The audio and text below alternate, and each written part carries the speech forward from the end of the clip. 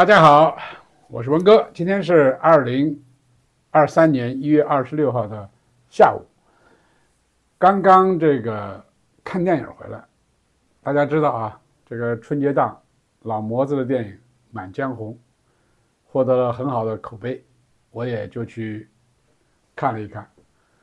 刚看回来啊，这个情绪还在这个电影的这个啊回忆当中。那么。最让人感动的是什么？这个故事整个整个最后到了一个爱国的这么一个层面，是吧？大家都知道精忠报国，岳飞啊，然后最后上升到这么一个爱国的主题上或者层面上啊，这个老模子的电影真的让人。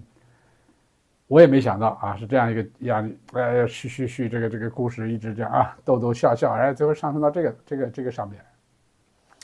那么谈到爱国啊，那么我今天也是想呃，想聊聊这个话题，我们一起来学习啊，我也不一定能说得清楚。谈到爱国，那么有几个概念我们要清楚。作为我们民众啊，你现在说你是不是公民？我们是不是我们这个？国家的公民是，那我们就应该了解最基本的一些概念，我们应有的权利，我们为什么要爱？爱的出发点在哪里？哪些是有条件的爱？哪些是无条件的爱？哪些是需要我们作为公民有责任去指出，或者是啊提一些建议啊，或者是监督？这都是我们的权利。这叫作为公民一定要搞清楚。啊，如果说你不是公民，那那我就不谈这些事情了啊。那么好，呃，有三个概念我们要澄清啊。第一个，我们说的是经常说的是“国家”这两个字儿，国家。然后有个概念说什么呢？就是祖国。然后说什么？说的是政府或者叫政权。英文有三个不同的单词，都是不一样的。我们你看中文这三个单词，这三个词有时候会重叠，意义会重叠。那么，我们说国家啊，我们叫这个 country 或者叫 state，这都是啊讲国家的概念。然后我们说祖国 motherland，motherland，母亲的土地啊。我们说政府是 government，是吧？所以这几个三个英文单词它分得很清楚。那么我们讲国家，国家是个什么概念？国家是一个政治概念。国家怎么产生的，对吧？国家是一个政治概念。谈到国家，我们都会说某某国家，人口、土地面积，是吧？地处在哪里？它是怎么样的一种，呃，我们说的占有吧，或者是怎么样一种啊？就是我们会会很首都在哪里？对，呃，政治中心啊等等，就是我们会很，呃，官方的能够去。知道这个国家大体的状况是吧？多少个民族等等这些信息，所以它是一个政治概念。政治概念我们就要政治去解读，对不对？那么，祖国它是一个文化概念。我们说到祖国的时候是，呃，很自发的那种情感，它是一个让你没办法去割舍的。那么这两者之间，我们经常说的一个什么呢？就是。在外的，比如说美籍华人啊，或者是英籍华人啊，这些你看，他们在表示的时候说我的国籍，国籍注意啊，是美国，是英国啊，那么我的祖国是哪里呢？是中国，大家注意他的表述了吧？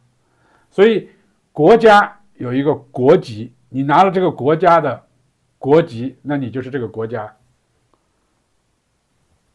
有个代表，是不是有一个这么一种归属？祖国不是这样的啊，祖国是你你你自己的那个文化，你知你你自己清楚，你热爱那个那个文化，你认同这个文化，所以它是完全不同的。所以一个人，他的祖国，他的国家可以不同，这个我们一定要清楚啊。这个没有什么可，今天这个社会，我们应该把我们自己看成什么？地球人。一个人类，整个地球已经没有说，你非要是哪的人，我可以自由的做我想做的那个哪个国家的人，但是我的祖国只有一个，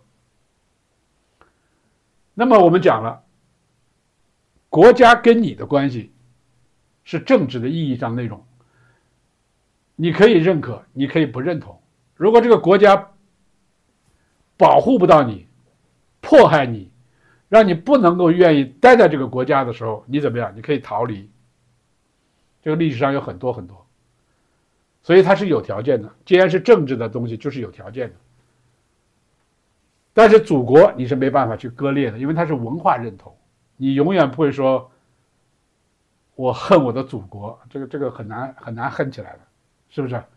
所以我我讲清了没讲清我不知道啊，大家要非常清楚。我们作为一个独立的人，首先是独立的人，我们有自由选择自己的国籍的权利。有些国家还承认双重国籍呢，是不是？所以很多东西啊，我们要清楚，我们是个地球人。我们有选择，如果你有选择的权利。好，第三个，我们说叫政府或者叫政权，这个是什么概念？这个不要跟前面两个混淆了啊。一个国家政权是有更替的，政权是由不同的党派在轮流执政来管理这个国家。我们不能把政权、政府啊跟这个国家等同。这个，往往我们在之前接受的所有政治课以及政治教育当中，我们可能都把三者在重叠，让我们自己都搞不清楚，我们到底是爱政府等同于爱国家，爱国家就一定要爱政府，这是不不完全不同的，啊，完全不同的概念。那么这个政府也好，政权也好，它是一个。我们选出来也好，或者我们以什么样的形式，对吧？就是他帮我们在管理这个国家，他们在互相更替。如果不更替，会不稳定；不更替会不稳定，因为党派这个东西啊，到一定程度它就会膨胀。你让它无限的去延延续下去的话，有时候真的不好说，会发生乱。你看我们这个几几千年、几千年来的这种朝朝代的更换，就说明这个问题。你不可能是永远永远坐着这个江山，最后就出现了什么？以革命的方式去推翻，这是不愿意看到，人民是遭罪的。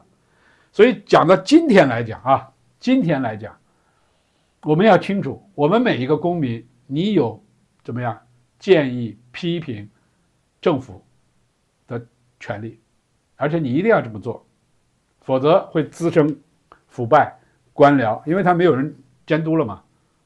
当他权力在手的时候，他一定会膨胀，所以我们一定要把这个概念一定要搞清楚啊！我们有的时候经常很多很多人可以说，包括在网上的这种无端端的互相攻击，都是把这些概念没有搞清楚。一反政府，一提什么建议，一对社会所谓的负能量的这种说出，就会扣上什么不爱国。你觉得？当你明白了这些东西三者之间的关系的时候，你不要给别人扣什么帽子。你不要给人扣什么帽子，这是完全根本扣不上的事情啊！你自己都没搞明白，你给别人扣什么？你把政治的、文化的和以及这个，呃，被选举出来的这些概念，你全部都混淆了。你随随便便的把人就是以所谓的去爱国的这种名义啊等等去去去打压别人，这都是不对的。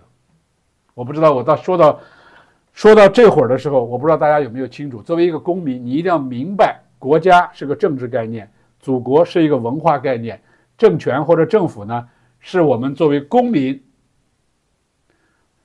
选出的某种政党，政党，然后他们怎么样去管理这个国家？他们是可以交替轮换的，交替轮换对我们大众来讲是一个福祉。而不至于造成更大的腐败或者错误，所以这里我已经基本上讲清楚了啊，基本上讲清楚了。我们怎样爱国，要理性。爱国爱什么？以及我们的祖国，在我们的心中，不管我们走到哪里，那那个这个那个张小敏唱的歌，不管我们走到哪里，不管我们什么身穿洋装，这个祖国永远在心中。这是唱的非常对的啊。所以我今天说了这么多，因为是看完电影啊，《满江红》，一个是建议大家去到影院去看，呃，挺不错的啊。一个是我们看完之后，我们作为每一个公民，应该清楚，通过学习应该清楚我们该做什么，而不要怎么样，把这个爱国泛泛化，然后又有些东西被人利用，然后自己也搞不清楚，就随随便便不愿意听到那些反对意见的时候，就指责别人不爱国，这都是不对的。好了，谢谢大家，新年快乐。